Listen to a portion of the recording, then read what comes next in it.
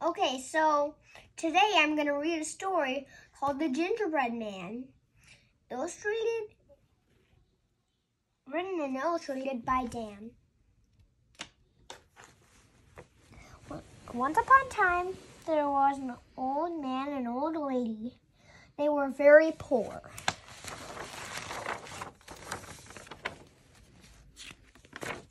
Old lady decided to cook a gingerbread man. She placed him in the oven to bake. She waited all afternoon. He smelled so good, she knew he was ready. When she opened the oven door, he came to life and jumped out of the oven.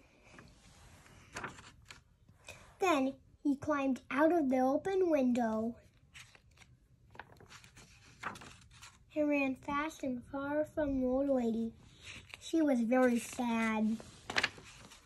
The old lady got the old man to help run after the gingerbread man.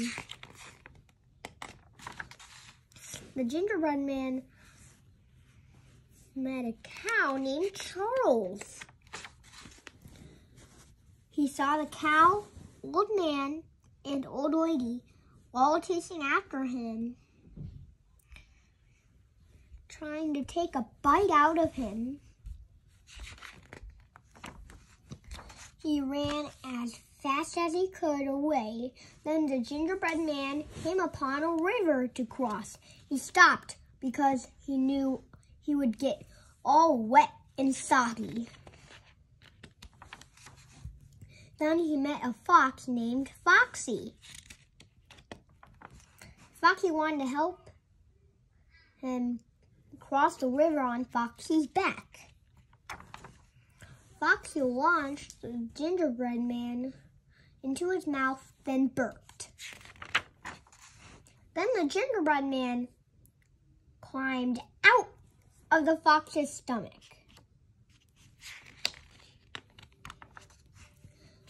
The gingerbread man launched out of Foxy's mouth and sped away.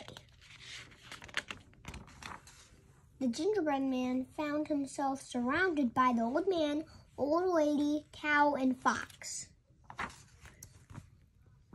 Then a gingerbread girl came to help, named Christina. They all had a big battle for survival. The fox died. The old man, old lady, and the cow all ran away. Then the gingerbread man and girl got married. Then they had a baby named Gingerbread Baby. They lived happily ever after. The end.